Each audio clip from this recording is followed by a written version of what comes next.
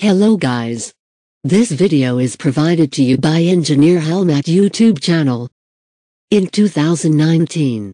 This is lesson 2 Form Excel 2019. To combine two cell values into one cell, you need to use the and sign.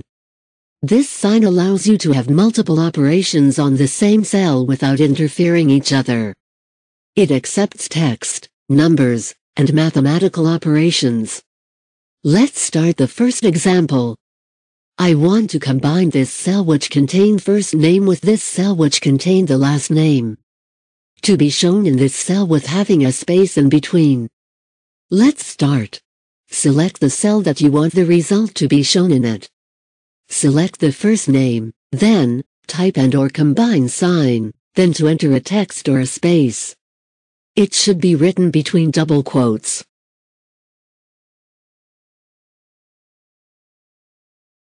Then the combine sign. Then the cell that contained the second name.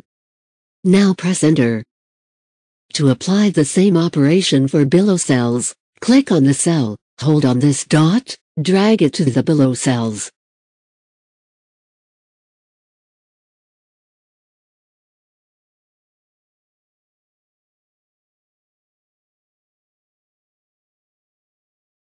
Now to do the second task it is the same steps just instead of the space, the text should be written. And then combine it with the equal sign, finally the result.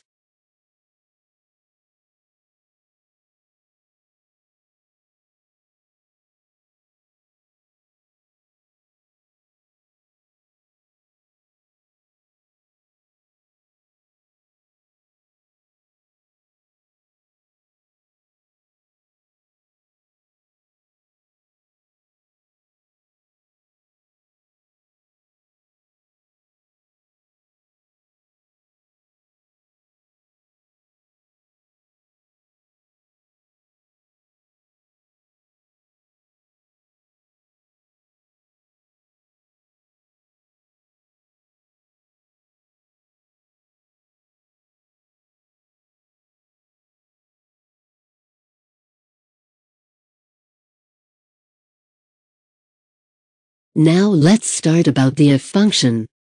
If statement in Excel can be written as any other functions. First write the equal sign, then if, open the brackets. Here we can see that it takes three parameters. Logic test, value if true, value if false. It means if the logic test is true, or in other words, if the criteria is true. Then it gives a value as a result. Otherwise if the criteria doesn't match, it will give another value. Let's start with our examples to be more clear. If the value is less than 5 it means it's failed, if it's between 5 to 10 it means passed. Let's write the formula. Equal, if, open the bracket, the logic, if this cell is greater or equal to 5.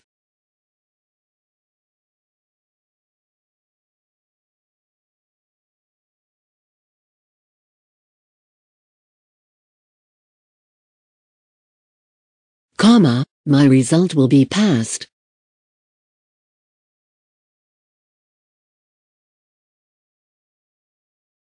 comma, otherwise it will be failed, close the bracket, and press enter.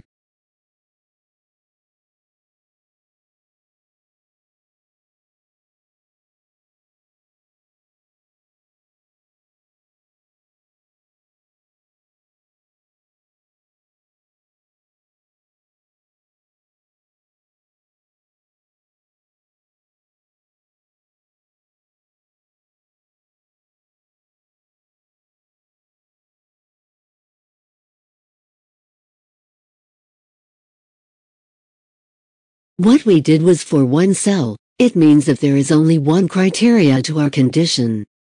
But what if we have more than one criteria? Here we can use AND function, which allows us to write as many logic as it's needed, then giving one result, true or false.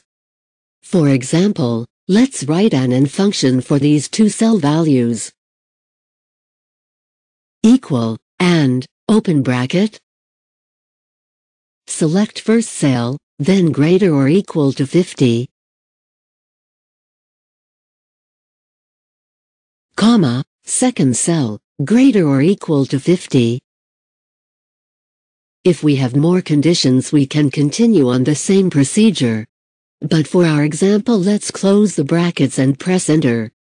It's true because both criteria are matching, but if we change one number or both to below 50, then it will be false.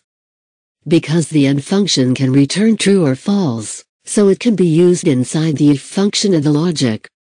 Let's try AND with if function.